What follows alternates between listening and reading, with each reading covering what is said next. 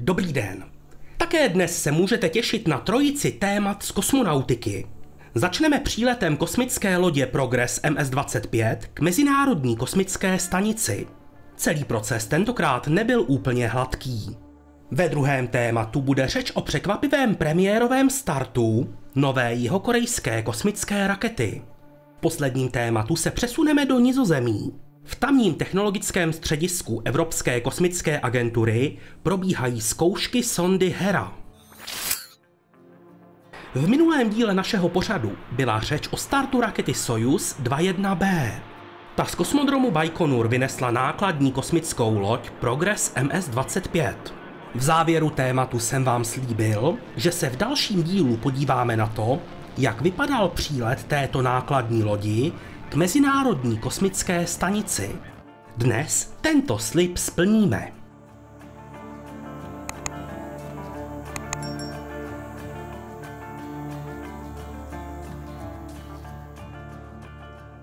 Jak už zaznělo minule, Progress MS-25 letěl ke stanici po takzvaném klasickém letovém profilu. Ke svému cíli proto dorazil po 36 obězích okolo Země, tedy dva dny po startu 3. prosince.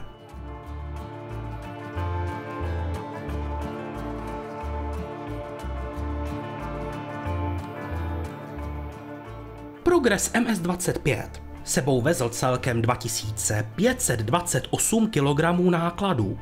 Jedná se o 515 kg pohoných látek, 420 kg pitné vody, 40 kg dusíků a 1553 kg potravin, hygienických potřeb nebo vědeckých experimentů.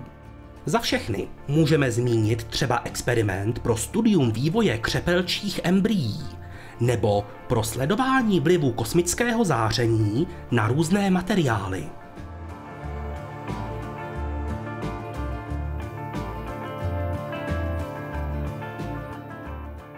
Nákladní loď přiletěla k orbitálnímu komplexu na vzdálenost 200 metrů a zahájila oblet stanice. Cílem bylo, aby se zarovnala do osy modulu Poisk, na který se měla připojit.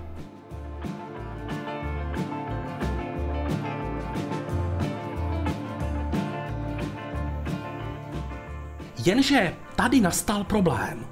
Jak je vidět i na záběrech z palubní kamery, Progress MS-25 nebyl správně orientován. Automatické připojení kosmické lodi zajišťuje systém KURS. S jeho pomocí si loď a stanice vyměňují informace o vzájemné pozici i rychlosti. V tomto případě však byl systém zmatený.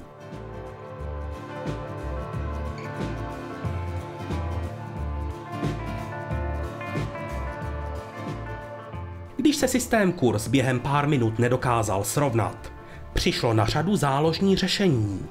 Posádka Mezinárodní kosmické stanice se ujala dálkového ovládacího systému TORu. Na takový případ jsou kosmonauti trénováni už během pozemní přípravy a i při pobytu na ISS si občas tyto schopnosti osvěžují.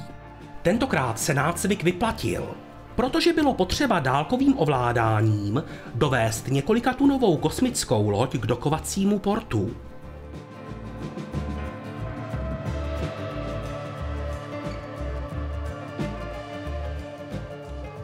Že byl systém kurz opravdu hodně zmatený, je vidět i na těchto záběrech.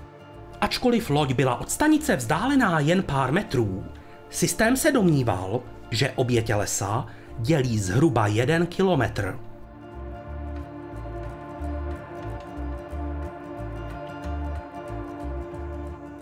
Třetího prosince ve 12 hodin 18 minut našeho času se podařilo připojit kosmickou loď Progress MS-25 na modul Poisk. Progress tu zůstane zhruba půl roku. Během té doby dojde k vyložení nákladů a naplnění útrop lodi nepotřebnými věcmi. Kosmonautika je plná odkladů a spoždění. Ostatně stačí si pustit pár dílů našeho pořadu. V mnoha z nich najdete informace o tom, že se nějaký start z nejrůznějších důvodů odkládá. Výjimka z tohoto pravidla proto vždycky překvapí. 4. prosince odstartovala z mořské plošiny u ostrova Jeju raketa, která měla poprvé na oběžnou dráhu letět až v roce 2025.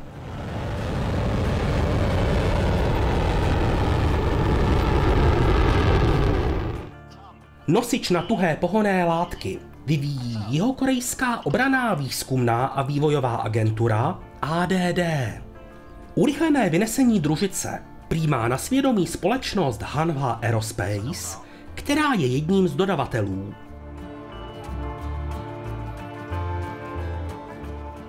O nové raketě víme stále jen minimum informací.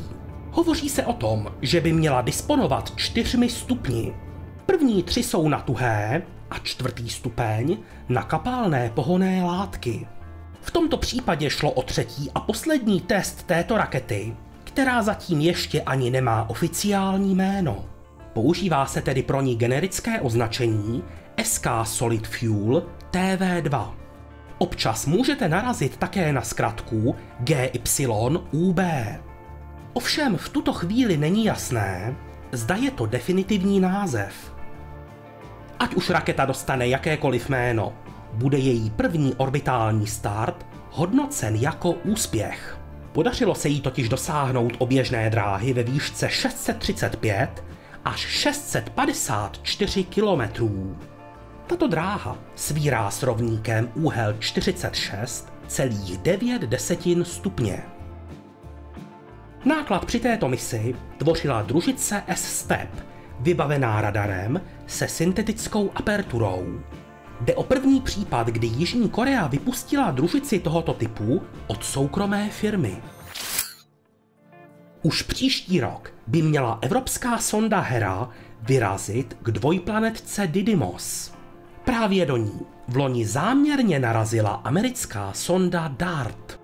Ještě než se ale necelou tunu vážící sonda vydá na cestu, musí projít celou řadou zkoušek, které prověří, že je připravena.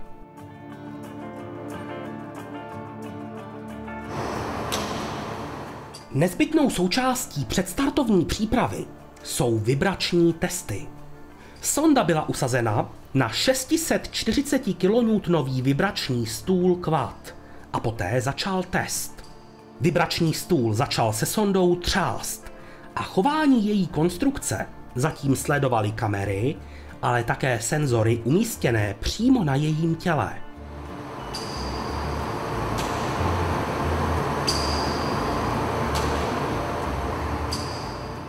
Vibrace, kterým byla sonda vystavena, nebyly náhodné. Jejich průběh měl za úkol kopírovat podmínky, které Hera příští rok zažije při startu na raketě Falcon 9.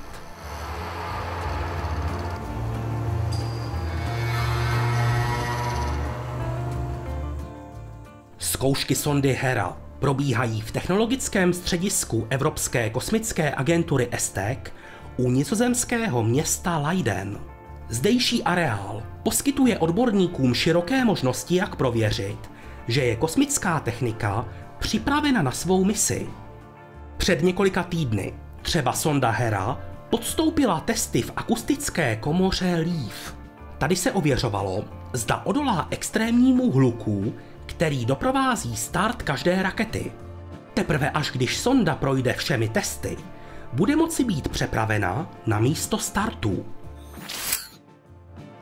Na tomto místě bychom chtěli velice poděkovat 34 divákům, kteří se rozhodli náš kanál podpořit na platformě Hero Hero.